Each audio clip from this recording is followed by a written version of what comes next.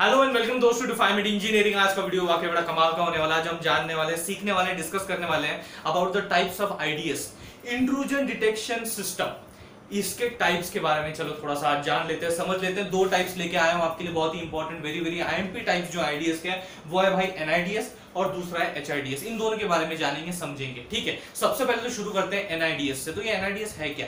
It is simply a IDS मतलब intrusion detection system है, लेकिन ये किसके ऊपर बेस्ड है? ये नेटवर्क के ऊपर बेस्ड है। So this is a network based intrusion detection system तो अभी जो भी मैं बात करूँगा, वो विथ रिस्पेक्ट टू नेटवर्क बात करूँगा। जो मेरा स्कोप होगा बातों का, वो नेटवर्क रिस्पेक्टिव होगा। ठीक है? तो नेटवर्क को कंसिडर करना। ठीक है भाई?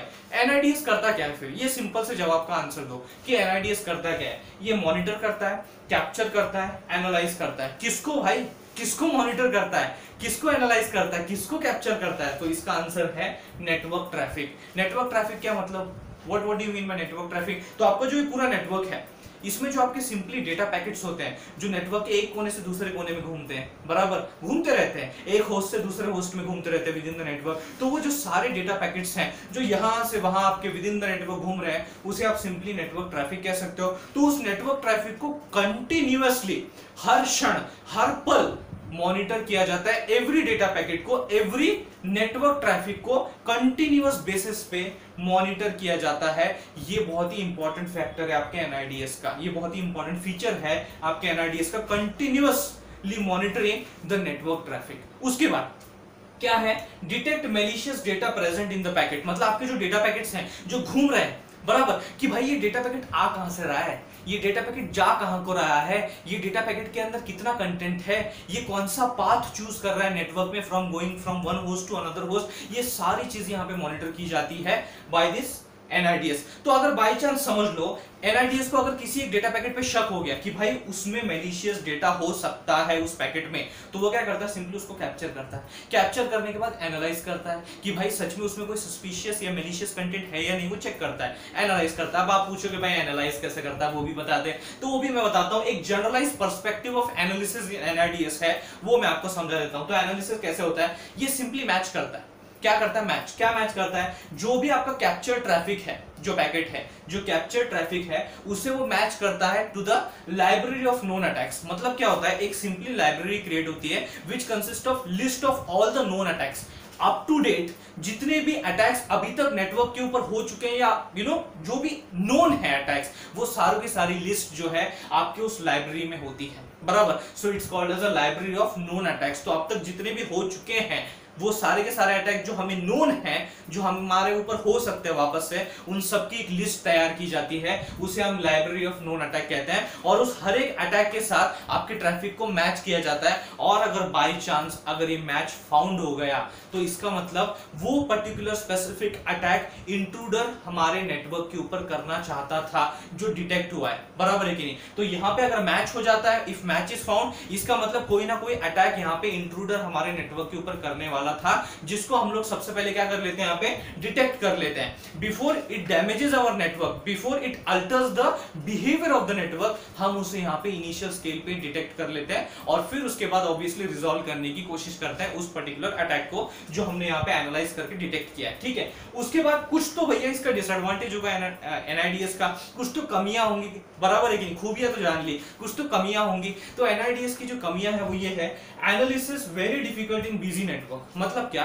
कि अगर आपका मान लीजिए नेटवर्क बहुत बड़ा है, और वेरी ह्यूज स्केल मैं लार्ज नहीं बोल रहा हूँ वेरी ह्यूज स्केल नेटवर्क और वो जो नेटवर्क है वो काफ़ी बिज़ी है, बराबर? कई सारे डेटा पैकेट्स यहाँ से वहाँ, यहाँ से वहाँ घूमते जा रहे घूमते जा रहे हैं। बड़ा नेटवर्क बिज़ी है, बहुत बिज़ी चल रहा है नेटवर्क और प्लस नेटवर्क काफ़ी बड़ा है। तो ऐसे इतने बड़े स्कोप वाले नेटवर्क को हैंडल करना एनआईडीएस के लिए थोड़ा डिफ़िकल्ट जाता है। इतने बिज़ी नेटवर्क पे हर एक डेटा पैकेट को मॉनिटर करना बहुत डिफ़िकल्ट जाता है। इसीलिए जितना ज़्यादा आपका नेटवर्क बड़ा होगा, जितना ज़्यादा बिज़ी आपका नेटवर्क होगा, उतनी ज़्यादा पॉसिबिलिटी है कि एनआईडीएस की जो एफिशिएंसी है, वो थोड़ी ड्रॉप डाउन होती जाए। इसीलिए ज़्यादातर बिज़ी नेटवर्क्स में और लार्ज स्केल नेटवर्क्स में आप यहाँ पे एनआईडीएस जो है, उसकी एफिशिएंसी को थोड़ा कम ही पाओगे, थोड़ा ड्रॉप डाउन ही पाओगे यहाँ पे, ठीक है? तो ये तो हो गया भैया एनआईडीएस के बारे में। आप देखते हैं भैया एचआईडीएस के बारे में कि एचआईडीएस क्या है? ये भी इंट्रूजन डिटेक्शन सिस्टम है, लेकिन ये host based intrusion detection system है ये। यानी कि मैं अभी जो बात करने वाला हूँ, वो with respect to a host होने वाली है with respect to a device होने वाली है which is on the network बराबर?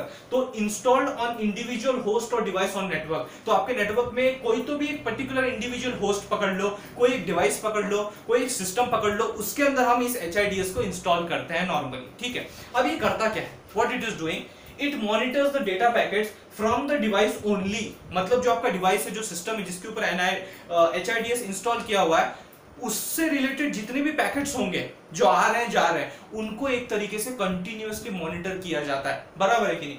And will alert the admin if suspicious activities detected और अगर बाय चांस कोई भी एक सस्पिशियस एक्टिविटी डिटेक्ट होती है बाय एचआईडीएस तो वो तुरंत एक अलर्ट मैसेज जारी करता है किसके नाम पे? एडमिन के नाम पे कि भाई एडमिन साहब, जरा देखो ऐसी ऐसी कोई तो एक सस्पिशियस एक्टिविटी डिटेक्ट हुई है, इसको तुरंत रिजॉल्व करने की कोशिश करो, नहीं तो इस सिस्टम को डैमेज कर सकता है। बराबर? तो यहाँ पे ये सस्पिशियस एक्टिविटी कैसे डिटेक्ट की जाती है। कैसे हम लोग ये कंफर्म करें कि भाई there is some suspicious activity there is some kind of you know suspicious nature in the system is detected ये कैसे पता चलता है? तो सिंपल सी बात है, ये तरीका है पता लगाने का। एक जनरलाइज पर्सपेक्टिव आपके सामने रख रहा हूँ कि किस तरीके से। तो हम लोग स्नैपशॉट्स का यूज़ करते हैं। स्नैपशॉट कहने का मतलब ये है दोस्तों कि हम लोग सबसे पहले जो हमारा प्रीवियस सिस्टम था, जो इनिशियल लेवल सिस्टम था, जो कि टोटली क्लीन था। क्लीन मतलब क्या?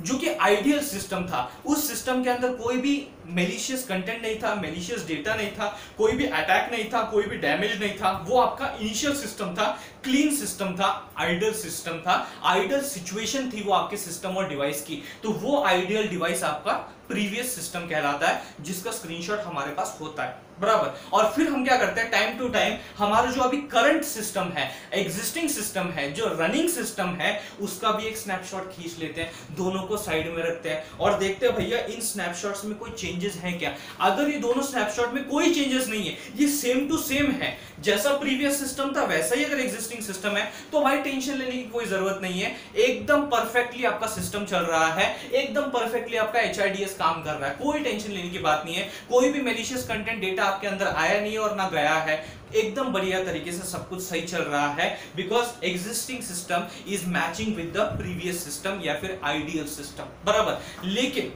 अगर ये मैच ना हो तो अगर ये मैच फाउंड ना हो तो तो यहाँ पे हम फिर बोलते हैं some suspicious activities detected in the device और इन द सिस्टम तो क्या क्या हो सकता है? बेसिकली अगर बाय चांस कोई अटैक होता है तो मोस्टली क्या क्या हो सकता है? जो आपके फाइल्स होते हैं वेरी इंपॉर्टेंट यहाँ पे एचआईडीएस में मेन फोकस हम यही रखते हैं। आपके जो सिस्टम के लॉग्स हैं, जो आपकी मेन फाइल्स है, जो very very confidential and I files होती हैं, उनमें अगर कुछ डिलीशन होता है, उनमें अगर कुछ मॉडिफिकेशन होता है तो एक तरीके से यहाँ पे उसे सस्पिशियस एक्टिविटी कहा जाता है। और अगर सस्पिशियस एक्टिविटी डिटेक्ट हुई है तो उसे रिपोर्ट करना, एक अलर्ट मैसेज एडमिन के नाम जारी करना, ये काम बहुत ही इंपॉर्टेंट है, ताकि उस डैमेज को हम लोग एक तरीके से कम से कम एक लिमिट तक रोक सके और उस प्रॉब्लम को रिजोल्व कर सके।